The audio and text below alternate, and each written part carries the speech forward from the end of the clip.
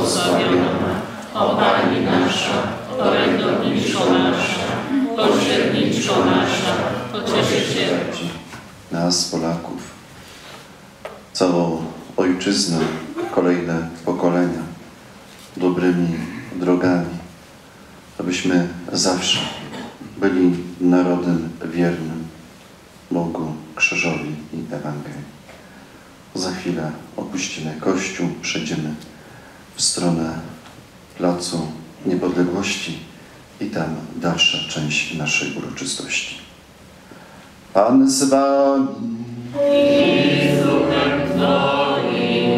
Niech was błogosławi Bóg Wszechmogący, Ojciec i Syn i Duch Święty. Idźcie w pokoju Chrystusa.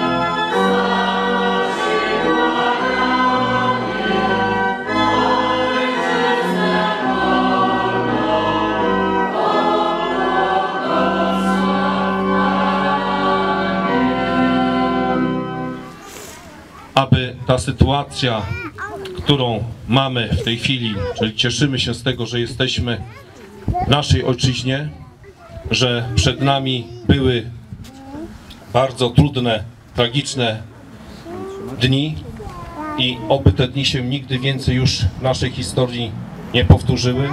I myślę, że przyświeca nam taka myśl, że Polska jest naszą ojczyzną, naszą matką, matką naszych przyszłych pokoleń i oby w naszej historii już więcej nie było tak tragicznych chwil, chociażby nawet na przestrzeni tych ostatnich 100 lat były też i piękne, ksiądz proboszcz dzisiaj w homilii.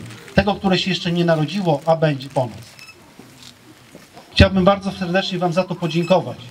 I chciałbym również prosić Państwa, abyśmy w swoich wspomnieniach, rozmowach rodzinnych, w swoich modlitwach pamiętali o tych bohaterach, wielkich bohaterach, sześciu bohaterach, którzy przyczynili się do tego, aby Polska była znowu na mapie Europy i świata, ale dla tych też wielu bezimiennych. Pamiętajmy o Piłsudskim, Daszyńskim, Dmowskim, Korfantym, Witosie.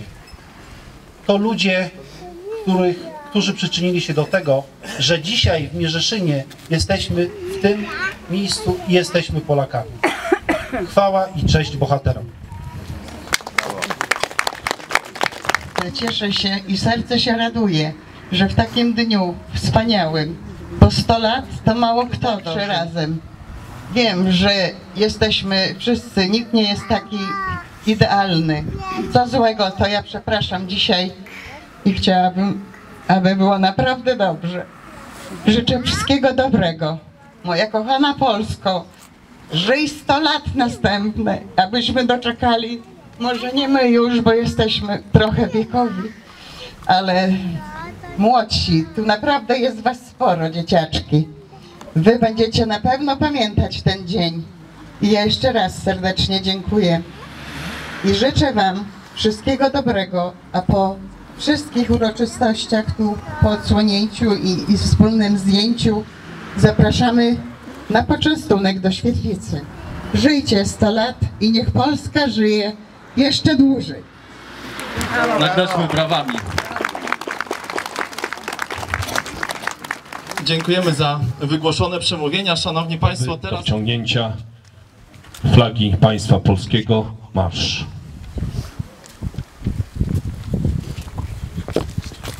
Poczcie flagowym funkcję flagowego pełni Marcin Dąbkowski, asystują Krzysztof Kraiński oraz Ryta Lewandowska.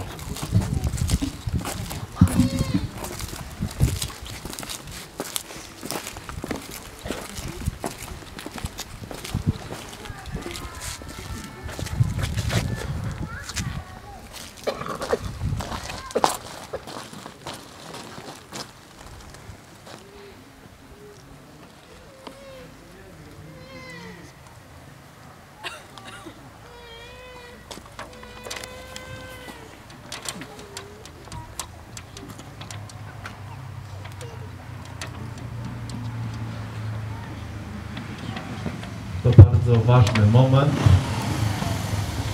i wielkie emocje jeszcze przed nami.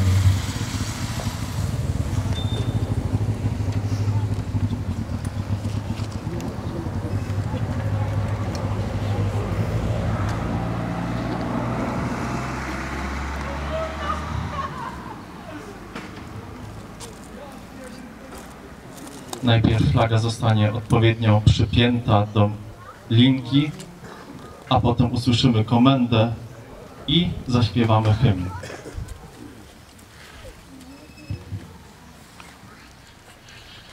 Flagę naszej ojczyzny Polski podnieść.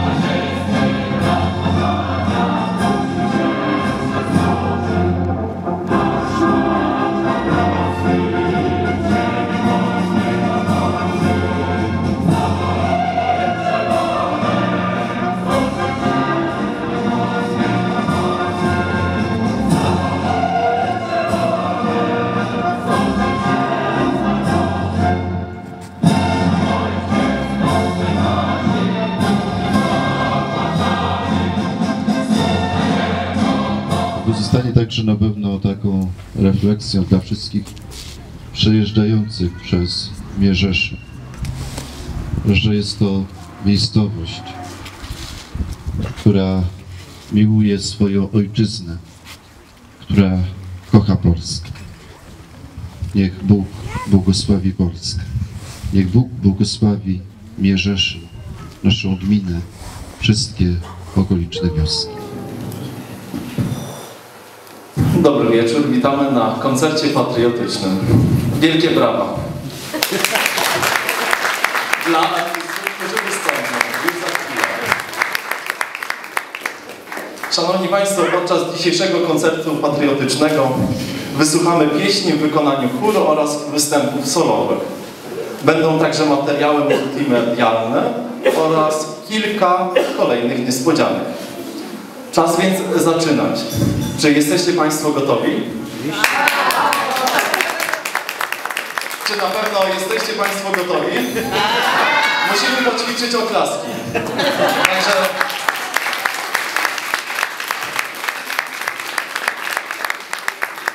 Nie wiem co na to artyści, myślę, że jeszcze można mocniej klaskać.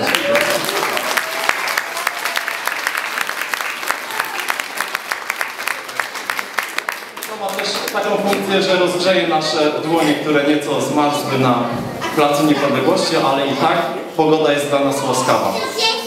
Szanowni Państwo, przystępujemy do koncertu, ale najpierw jeszcze raz poprosimy o słowo powitania na koncercie przewodniczącego Stowarzyszenia Wyżyna Gdańska, pana Bogdana Skibel. Wielkie brawa dla niego.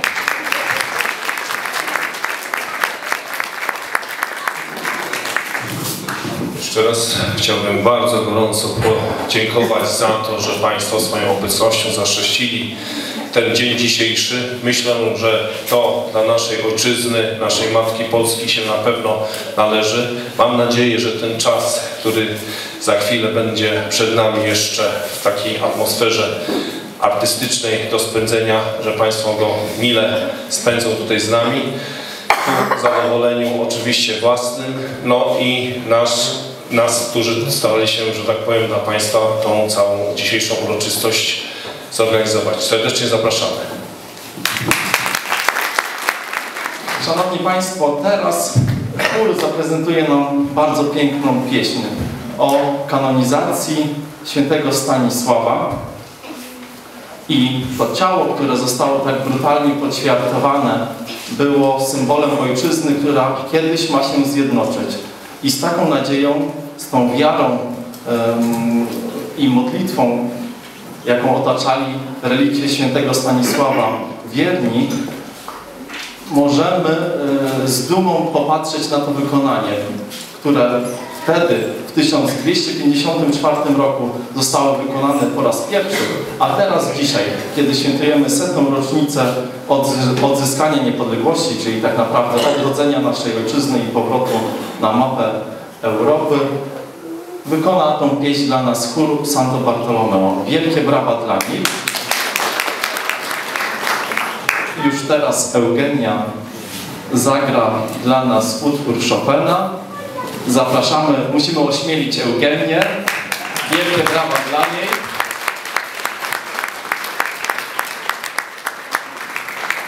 Wielkie brawa.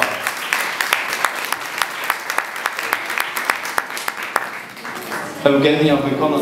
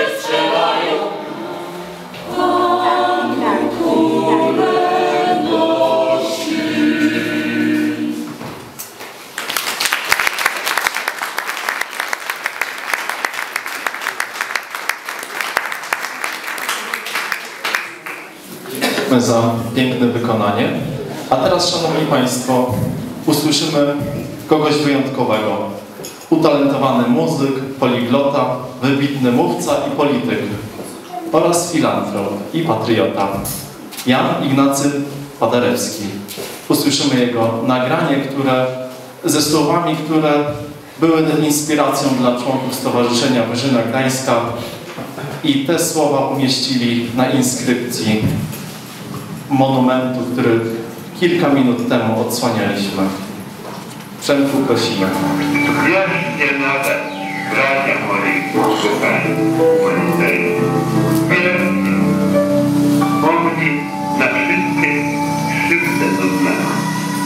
Pamiętnik niezliczonych zbrodni popełnionych dziściem pogańskim okrucieństwem na niewinnym ciele szlachetnego rycerskiego narodu. Nie zginie Polska, nie zginie, lecz żyć będzie po wieki wieków w potędze i władze dla was, dla nas i dla całej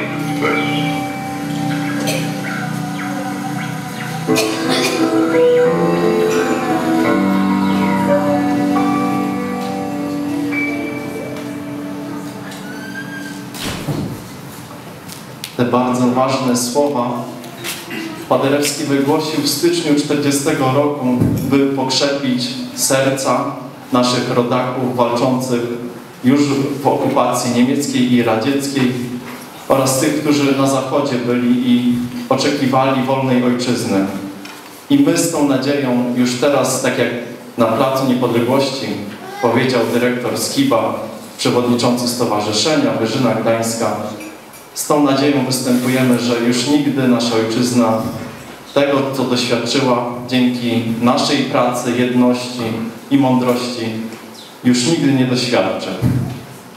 A teraz, Szanowni Państwo, chór wykona dla nas kolejną pieśń, powstałą w czasach I wojny światowej, którą bardzo lubił marszałek Piłsudski. Szara piechota. Prosimy.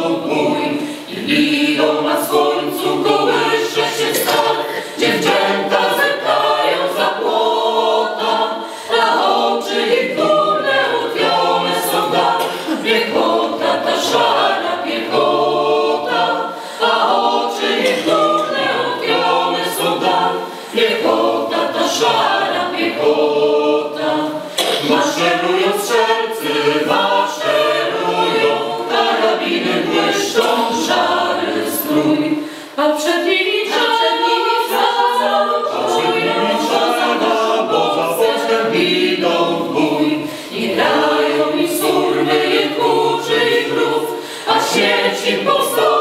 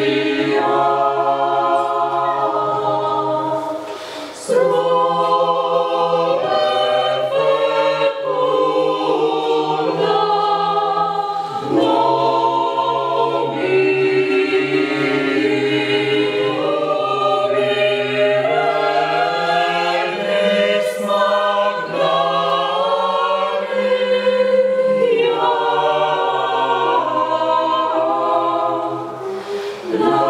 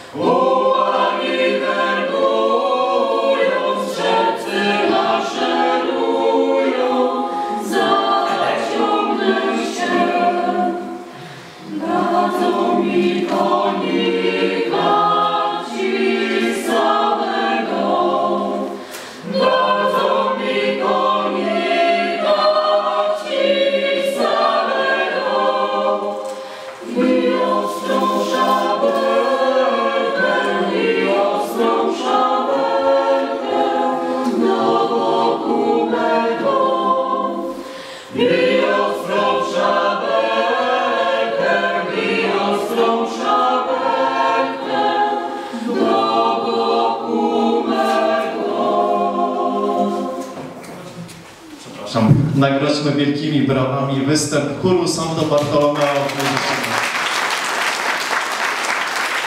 Dyrygent Paweł Kosiński.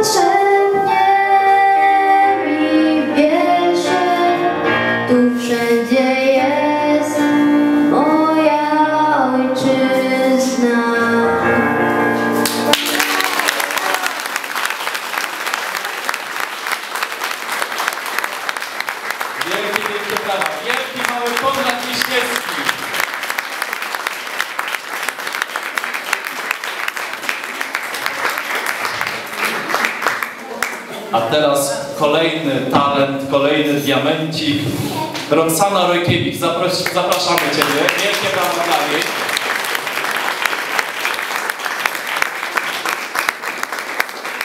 Roxana zbliża się już do mikrofonu na scenie, by wykonać dla nas pieśń o pewnym kraju w Europie, w sercu Europy. Jedni mówią, że na wschód od zachodu i na zachód od wschodu, ale no i myślę, że Państwo poznają o, jaki, o jakim kraju mowa. Roxana Rojkiewicz, taki kraj. Wielkie brawa dla niej.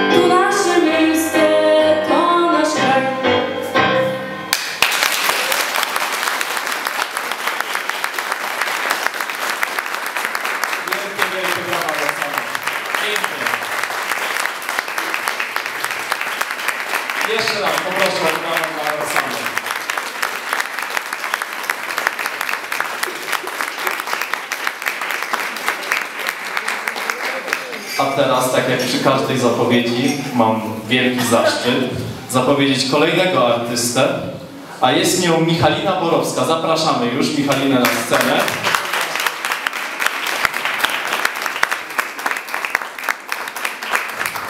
Michalina wykona dla nas pieśń do słów, przepraszam, e, wykona dla nas pieśń Miejcie nadzieję. Oddaję głos. Wielkie brawa!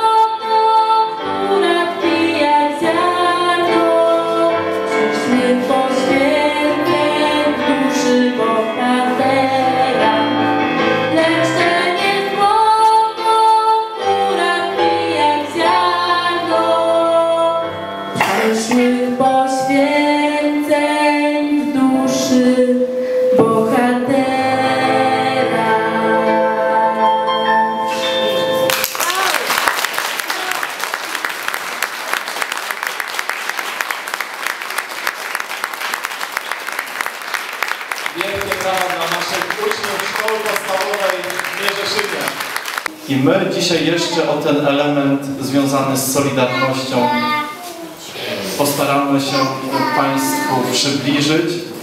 I teraz prosimy o wielkie brawa, poproszę o wielkie brawa dla Piotra Górskiego.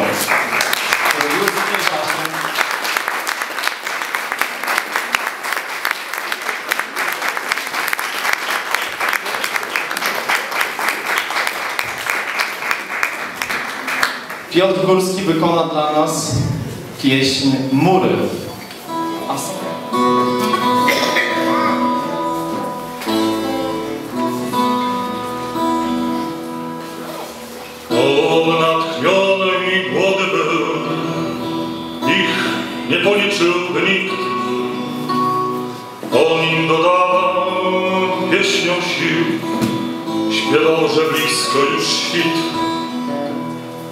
Świec tysiące palili mu, z nad głów unosił się dym. Śpiewał, że czas wyrunął mur, oni śpiewali wraz z nim.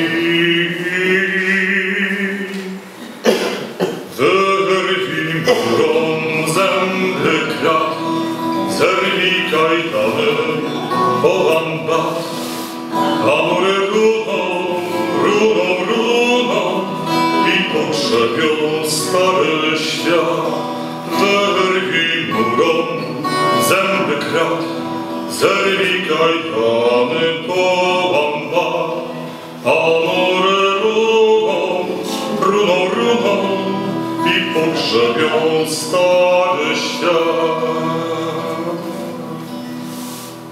Wkrótce na pamięć znali pieśń i sama melodia bez słów niosło ze sobą starą treść, dreszcze na skroś serc i dusz. Śpiewali więc, klaskali w jak wystrzał poklaski brzmiał i ciąży łańcuch zwlekał świt. On wciąż im śpiewał i grał, wyrwij murom zęby krat, zerwij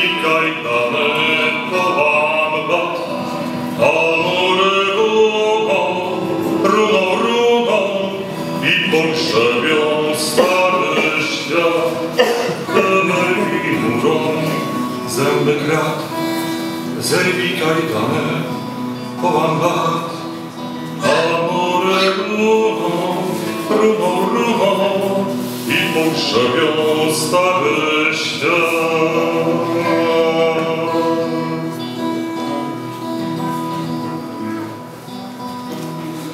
Aż zobaczyli ilu ich, poczuli siłę i czas. I z pieśnią, że już blisko świt szli ulicami miast. Zwalali pomniki i rwali bruk. Ten z nami, ten przeciw nam! Kto sam ten nasz najgorszy wróg? A śpiewak także był sam. Patrzył na milczał wsłuchany w kroków huk, a mury rosły, rosły, rosły łańcuch, kołysał się. Patrzy na równy tłum marsz, milczy wsłuchany w kroków huk, a mury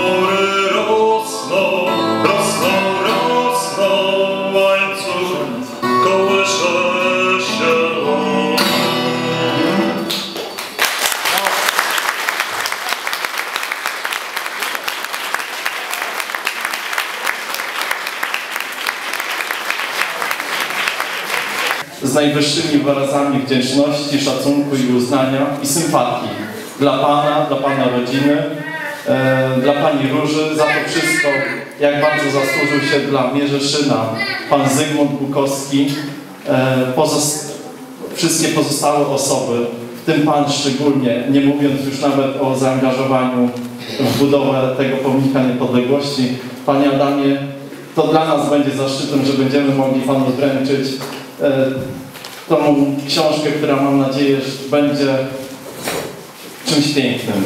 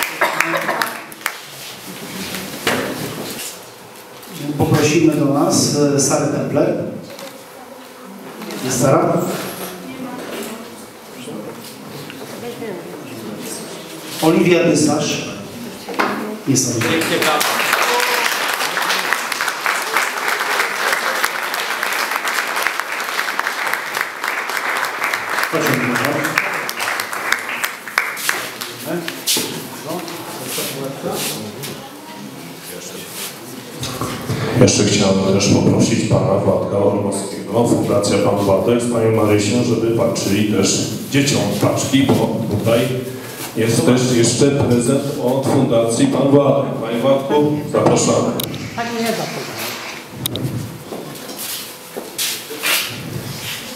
I poprosimy jeszcze do nas Marię Borowską. Marysia jest, jest Marysia. Także gratulacje. Gratulacje.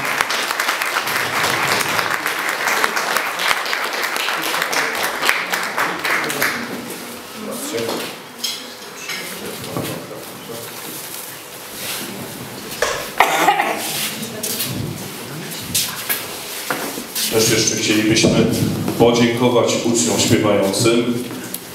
Mianowicie poprosimy Konrada, Michalinę i Roxanę.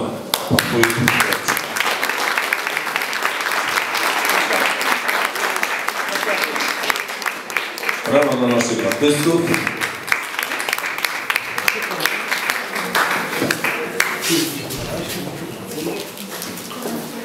A to dopiero do domu.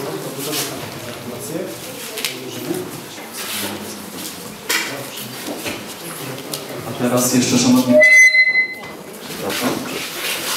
wręczymy jeszcze pamiątki, które ufundował wójt Miętronki Wielkie dla osób odsłaniających pomnik.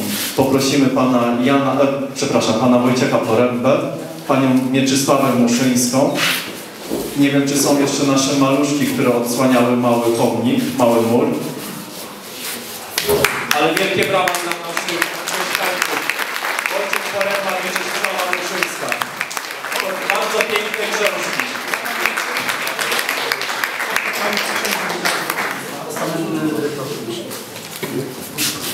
Co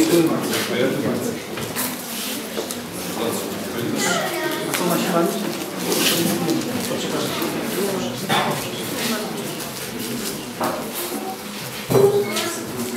Ja chciałbym jeszcze, proszę Państwa, podarować y, flagi nasze narodowe. Może poproszę Panią tutaj podać flag.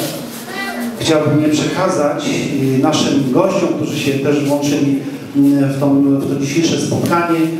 Y, Są to właściwie trzy organizacje pozarządowe. Bardzo poproszę, trzy krajobrazy, Pani Emilia Grzyb, prezes razem z, z małżonką, z Panem Doktorem Emilio, od Pana Prezydenta Andrzeja. Ogóle Stowarzyszeniu też bardzo dziękujemy za zaproszenie. Dowiedzieliśmy się tutaj o wiele, wiele naprawdę bardzo interesujących. Tu się dużo, dużo dzieje.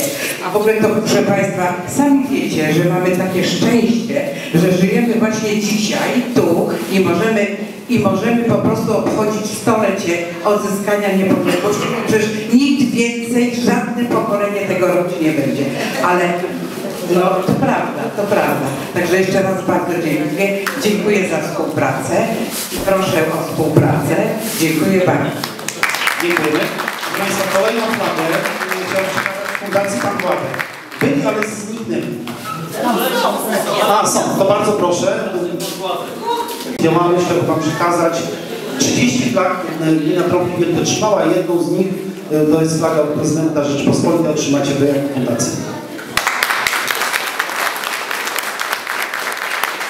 Jeszcze jedna flaga dla przedstawiciela Stowarzyszenia Akumulator Przedsiębiorczości, bodajże tak się nazywa, tak? Czy jest? Dobrze, to przekażemy panu. Dziękuję bardzo.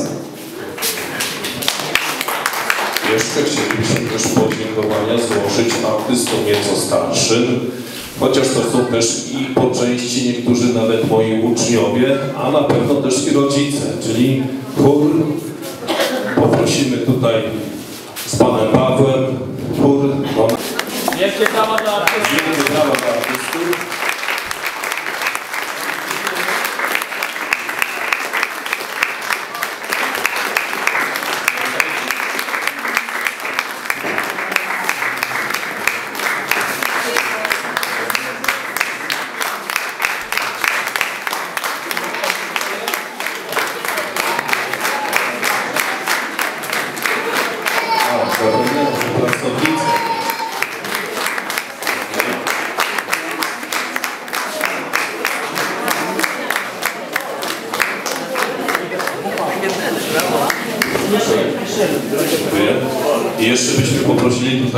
Eugenię Mazur, naszego rodzica.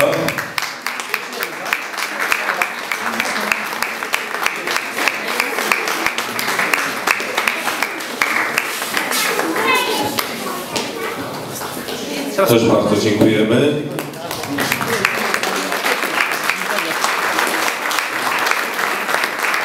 Szanowni Państwo, ja myślę, że tak tutaj w trakcie, żeśmy oglądali, słuchali, taka mi refleksja do głowy przyszła, że nasz święty, nasz papież Jan Paweł II na pewno z nas tutaj byłby wielce zadowolony, że w takiej małej społeczności są prawdziwi Polacy i to chyba jest najważniejsze dla nas wszystkich tu obecnych, że czujemy się, jesteśmy i będziemy Polakami i że ta Polska nigdy nie zginie.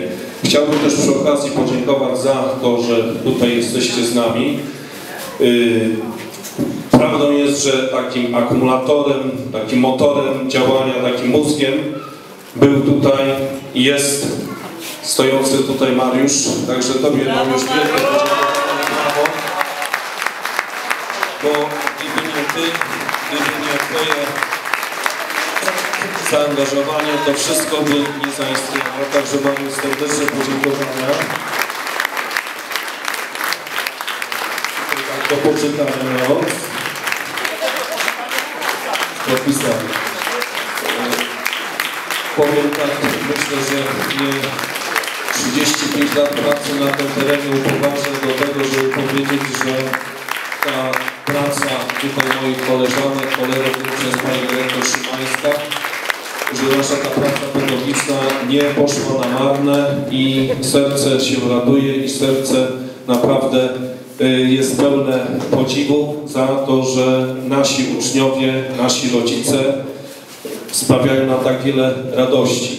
Myślę, że Panie Wójcie i tutaj radni naszego, z naszego terenu jest tutaj w tej chwili radny powiatu Mierzeszyńska, że ziemia Trąbkowska naprawdę ma czym się pochwalić i to jest dla nas naprawdę budujące i myślę, że tak jak powiedziałem, że ta Polska na pewno mamy akurat powody do tego, że naprawdę będziemy w tą przyszłość szli z radością i będziemy szczęśliwi.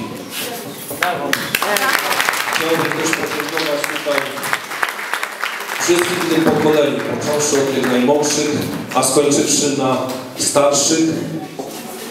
Mianowicie to cudownie jest, kiedy wszyscy się nawzajem dogadujemy i oby te nasze doły dały przykład tym górom. Także jeszcze raz wszystkiego najlepszego i dziękuję. Fundacji Pan Władek też prawda jest taka, że myślę, że naprawdę mamy czym się pochwalić i to jest chyba budujące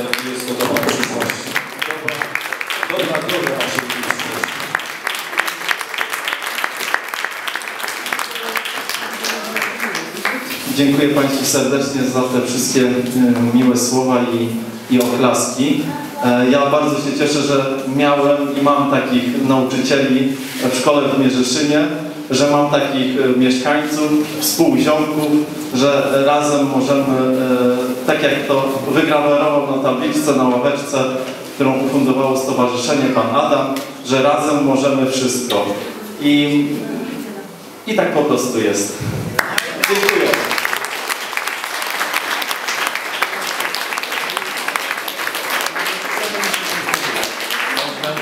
Zanim jeszcze przejdziemy do kolejnego punktu, bo mamy jeszcze niespodziankę em, przygotowaną dla Państwa, słowo do nas skieruje Pan Adam Bukowski. Wielkie brawa dla niego.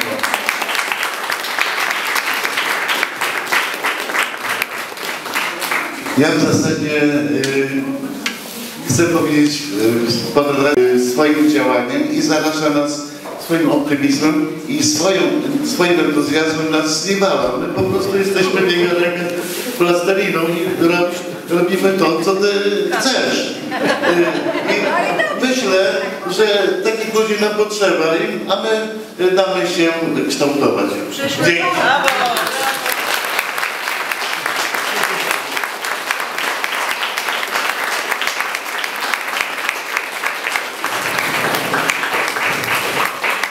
raz dziękuję za te miłe słowa. Mam nadzieję, że razem lepimy, lepimy piękne rzeźby. Szanowni Państwo, Panie Władku, poprosimy już. E, tą niespodziankę musimy, musimy wywołać. Jeszcze za, za chwilkę zam- zamkniemy, zamkniemy e, drzwi. Przemku mamy. I musimy zacząć odliczać. Поливатку дам знать. Десять. Девять. Ну Восемь. Семь. Шесть. Пять.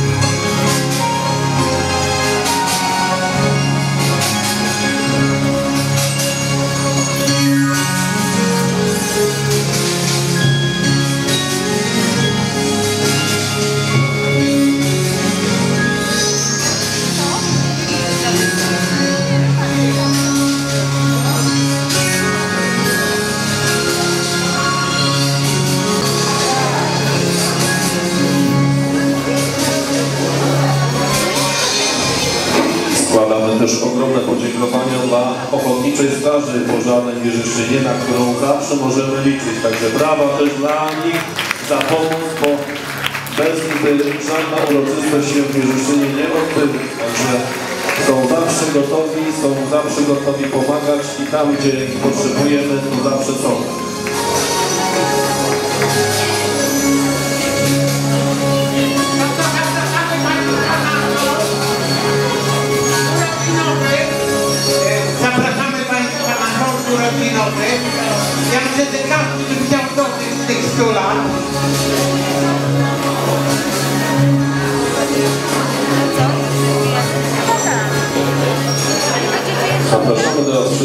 na tort, na ciasto, na kawę, na herbatę, także po tej części artystycznej trochę dla ducha było, to teraz niech będzie to...